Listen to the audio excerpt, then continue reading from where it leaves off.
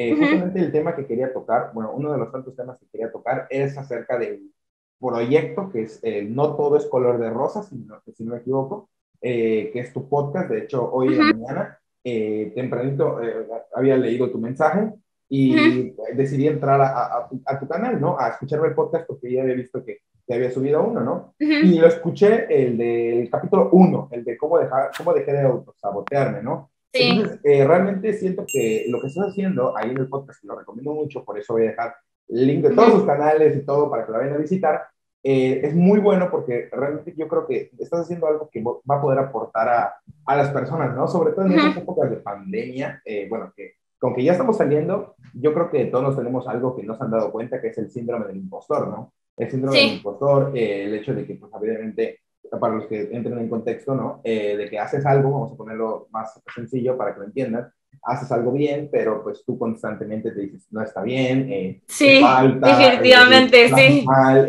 eso personalmente a mí me persigue todos los días, de todos los días, incluso cada cosa que hago, por más bien que la haga, siempre te digo, es que no está bien, es que no está bien, ¿no? Entonces, yo creo que sí es muy bueno lo que estás haciendo y aquí es lo que quiero llegar, ¿no? ¿Qué es lo que tú quieres conseguir con ese podcast? ¿Quieres, eh, vas a empezar como capítulos contando reflexiones un poco más personales que obviamente aporten algo a nivel, pues, no, psicológico, a nivel social, etc.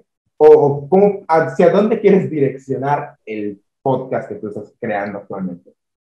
Pues prácticamente fue una idea de dos días, no te miento. O sea, yo lo dije en mi presentación, fue una idea de dos días. Yo dije, ¿sabes qué? Eh, quiero hacer un podcast. ¿De qué? Voy a pensarlo en esos días. me, estaba yo en la noche y dije, ok, ¿de qué puedo hacer mi podcast? Sí, sí, sí, estaba yo ya con la almohada ahí. Dije, a ver.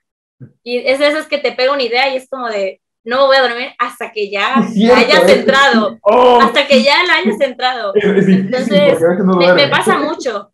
Entonces, algo que me recomendó mucho mi psicóloga es que cuando pasan ese tipo de cosas, lo, que, lo primero que debo de hacer es anotarlo en mi celular. Sí. Para poder dormir ya un poco más tranquila y al día siguiente retomar la idea. Claro. Y sí, creo que fue algo de dos, tres días que dije, ok, tengo este nombre, me gusta, me agrada, eh, tengo estas ideas, y más que nada es como el ámbito personal, personal y son experiencias que quiero compartir como que conozcan a la verdadera Maffer.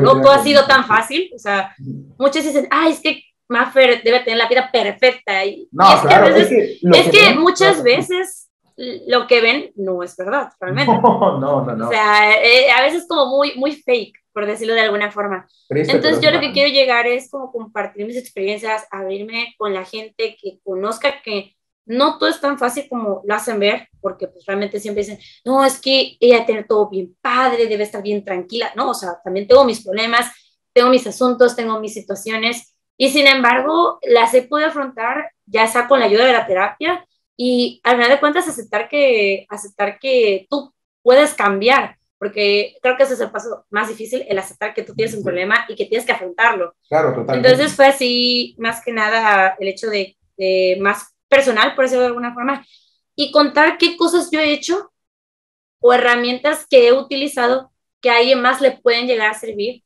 Y es más que nada para que es como de, como más íntimo, por decirlo de alguna manera, de que sienta que no, esa persona no está sola, porque muchas veces como de que no sé con quién hablarlo, nadie me entiende. Y tal vez yo lo que quiero llegar con este podcast es que se sientan que alguien los entiende perfectamente, cómo se sienten en esa situación y sobre todo qué herramientas he utilizado yo y a lo mejor qué puedan utilizar ellos para poder salir de esas situaciones y que ya no estén con el miedo o con el agobio de que no, es que todo lo que me pasa, eh, me lo merezco, porque muchas veces yo crecí con, o sea, yo crecí con eso de que todo lo que pasaba me lo merecía, fuera bueno, fuera malo, o sea, yo, yo crecí mucho con esa mentalidad. Y, yo, y todo el tiempo era de que, en redes en general, era de que, ah, es que, y si, y, y si no le gusta a la gente, y si no la apoyan, y o sea, siempre me andaba cuestionando de que, y esto, si el otro, o de que, ay, es que no me voy a vestir así porque qué va a decir la gente, ¿no? O de no voy a decir esto porque qué va a decir la gente. Entonces, eh, fue como de, voy a hacerlo, pero para demostrar y abrirme de que tampoco es tan sencillo como la gente lo suele ver en cámara, y obviamente acompañado de herramientas que a ellos les pueda ayudar y que puedan mejorar ellos también junto conmigo para que vean que no están solos y que simplemente no es como que soy perfecto, porque la, la perfección es subjetiva no, claro, simplemente no existe, o sea, al final de cuentas no existe. No, Entonces, más que nada, por esa simple y sencilla razón, lo hago para ayudar a alguien que a lo mejor lo necesita. Dice, no, pues, es que Maffer me, yo me sentí igual, voy a intentar aplicar esto y a lo mejor me puede, ayudar, me puede ayudar funcionar. Siempre recomendable visitar a un experto, claramente, pero si de alguna manera te llega, llega a salir el video es porque a lo mejor es una señal de que tienes que hacer un cambio. Digo, porque aparentemente dicen, no, es que el celular te escucha. Obviamente es broma, no te escucha, pero luego como que juega contigo y te hace decir, ok, algo está pasando en ti, te voy a mostrar esto, o te gustan estas cosas y te lo voy a enseñar.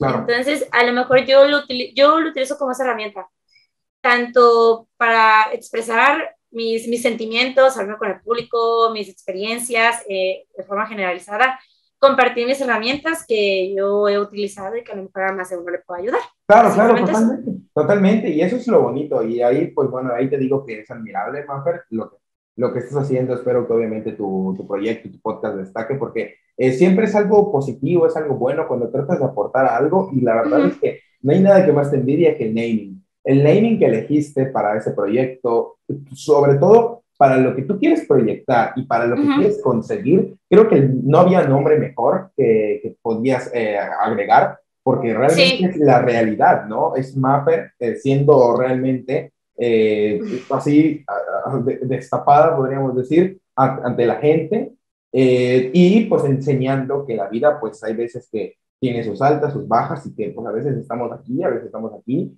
y, y, como un refrán, ¿no? Una vez me dijo eh, mi jefe, que sigue siendo mi jefe todavía, me dijo, cuando tuve, tenía un mal momento, me dijo, desde eso yo empecé a tener buenos momentos, hasta hoy por hoy tengo buenos momentos eh, laborales, eh, personales, pues obviamente siempre es un sube y baja, pero me dijo que nunca vas a saber qué tan alto bota una pelota si no toca el suelo, ¿no? Entonces, pues, obviamente eso que estás compartiendo, pues, va muy de la mano lo que tú quieres compartir con el nombre, ¿no? Que no todo es color de rosa. Y muchas veces suelen eh, clasificarnos, ¿no? A, sobre todo los youtubers o los creadores de contenido, a la gente que, que gana ingresos a través de, de, las redes sociales, de que, ah, nuestra vida es perfecta, de que todo está solucionado. Y realmente no es así.